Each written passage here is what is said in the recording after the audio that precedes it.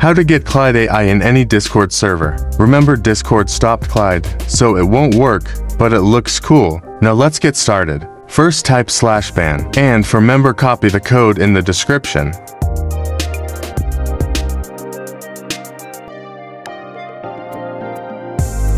Then Clyde will say Clyde was banned, we want this. Now go to server settings, then bans and unban Clyde.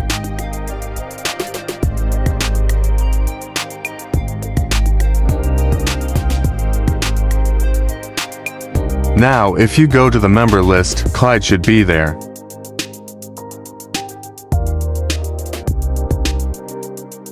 How to give Clyde roles. Go to server settings, then community.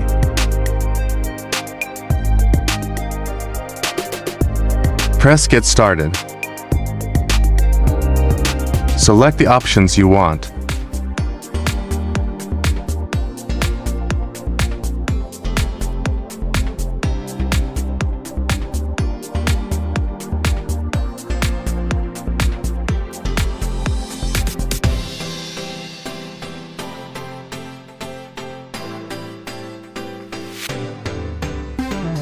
Now on the top of your channels, there should be one called Members. Click it. Wait for it to load then if you hover over Clyde. There should be a plus, press that.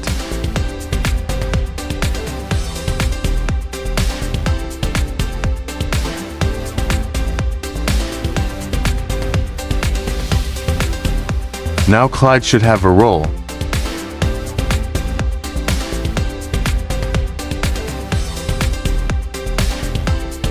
How to DM Clyde. Go anywhere in Discord and type slash MSG, and for user type the code again. On the message box type hi.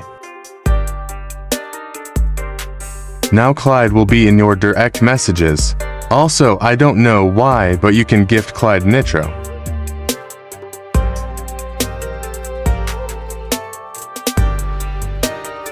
I think it works, but I won't try. That's the end of the video please like and subscribe.